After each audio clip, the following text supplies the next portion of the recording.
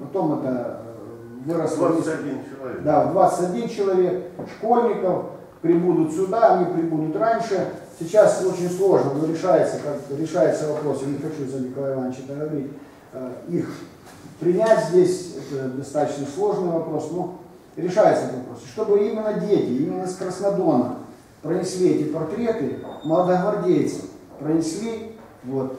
И третье, присутствует Юрий Владимирович Кот, здесь э, Комитет спасения Украины, вот, непосредственно э, Владимир Николаевич Олейник высказал идею, то, что а почему мы забыли без, без, неизвестных солдат? Почему мы безымянных солдат забыли? Почему они остались вне нашего поля зрения? Они же есть, они же воевали, многие пропали без вести, многие и так далее, и так далее. Почему это вот часть? И вот тогда возникла идея, часть этих портретов, уж сколько их будет, э, я пока не, не стану уточнять, часть этих портретов пронести с, с неизвестный солдат, с надписью, я вот там примерно, как в прошлый раз мы показывали, написал, ну, примерно вот неизвестный солдат. Вот таких вот три ключевых идеи было высказано, которые я вот при встрече с Орловым Владимиром Петровичем ему рассказал, и он донес наши мысли до, так сказать, до бессмертного полка Москвы для того, чтобы э, понять, что из них, как, какие из них найдут воплощение, какие они найдут воплощение в наших мероприятиях и так далее. Э, помимо этого, помимо этого, была еще одна высказана на прошлом нашем комитете инициатива э, в связи с тем, что Польша собралась, так сказать, обрушить 500 памятников Великой Отечественной войны на своей территории. Появилась вот такая инициатива, чтобы и эти памятники, которые были, которые уже обрушены которые еще которым еще, так сказать, эта печальная участь предстоит, чтобы э, и их фотографии зафиксировать. Но эта мысль пока осталась, вот она на уровне мысли, она не проработана, и я не, не буду, но она была. Вот это основные позиции, и вот когда эти позиции выработались уже и создался на базе присутствующих 15 человек в прошлый раз, собрался оргкомитет, вот тогда мы и решили э, пригласить с, так сказать,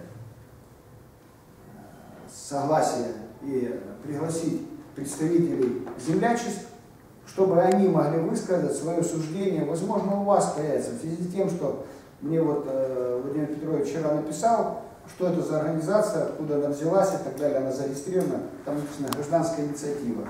Так вот, чтобы эта гражданская инициатива и оставалась гражданской инициативой до того момента, покуда она прорастет, покуда она покажет, докажет свою целесообразность, покажет свою целесообразность вот тогда можно будет ее после уже 9 мая, если то, что мы наметили, то, что мы собираемся осуществить, пройдет э, достаточно успешно и так далее, после этого уже можно говорить э, о том, стоит или не стоит формализоваться уже, так сказать, в какой-то форме, которая принята в российском государстве.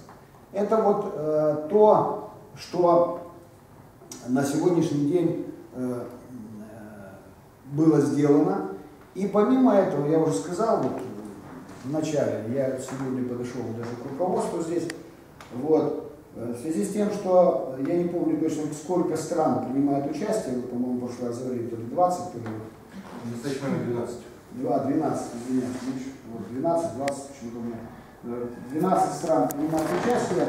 Вот, э, было высказано предложение о том, чтобы провести совещание, конференцию с представителями посольств стран, тех участников и стран, ну, участников Великой Отечественной войны, которые были в этом так или иначе задействованы, и э, помимо этого тех, кто, тех стран, которые уже принимают участие в этом, для того, чтобы послушать, а как у них это происходит, что они, какие у них намечены планы и так далее, и так далее.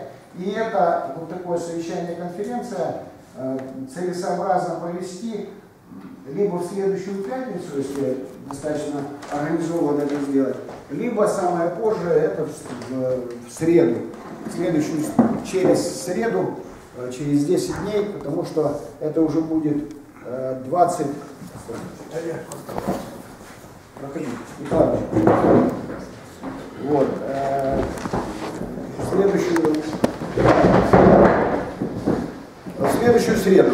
Вот, такое вот, вот такая инициатива прозвучала, и я думаю, что она целесообразна, эта инициатива, потому что учиться надо у тех, кто что-то делает, кто, что, у кого что-то получается. Ну вот в Беларуси мы, я дам сейчас возможность высказаться э, представителю э, белорусских, бело- белорусов или об- общества, как вы там, национальных обществ, да, как белорусов.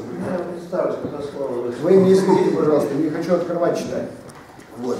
Поэтому, поэтому я дам возможность высказать, потому что э, вы собираетесь нас покинуть, Сергей Львович. Э, ФНК белорусов России, вот так звучит организация, Кандыбович Сергей Львович.